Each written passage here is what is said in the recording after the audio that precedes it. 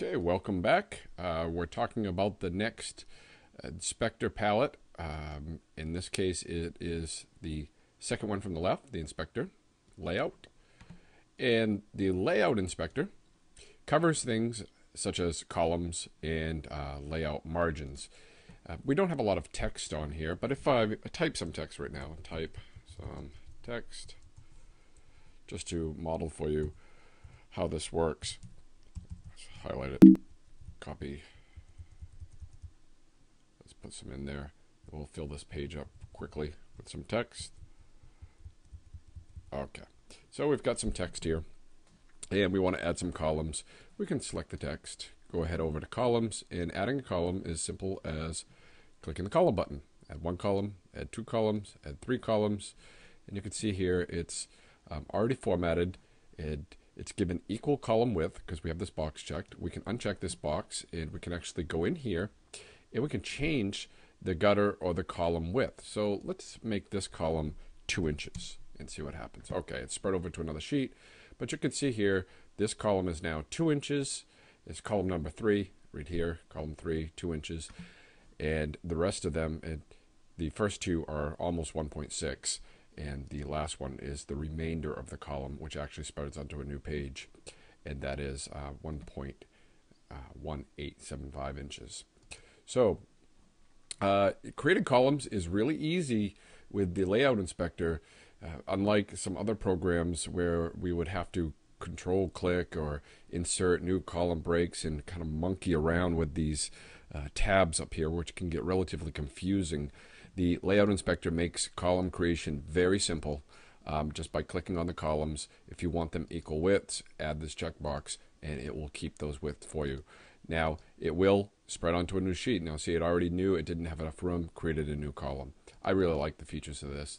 Um, some of you that are familiar with other publishing software probably like the traditional method, but for beginner users, this is an excellent way of creating neat and organized columns of information. And I will show you later on how to create these columns on just areas of a page and not have it continue all the way down the page.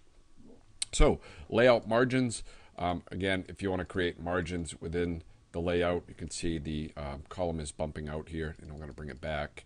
And then layouts uh, margins before, which is uh, really the same area as the header or the footer. After would be the footer. But if you want to bump it down, we can just use these arrows. And again, you can type inside here to change these.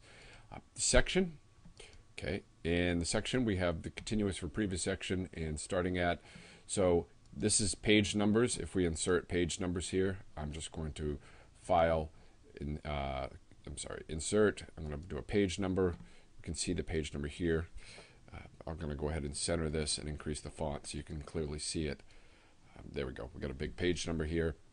And here's where we can continue as for previous section or we can start a new page number. See, we can change, have this start at page 7 if we're maybe we're working on uh, collaborating on a document and I'm creating page 7 and on so I can make it appear there so I can see what it looks like. The configuration, first page is different. If this box is checked, that means the first page is treated differently with the formatting than the remainder of the document.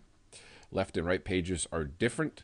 In this case, if we have facing pages from the previous tutorial to turned on and go back into the layout, then the left and right pages are different than the uh, than each other.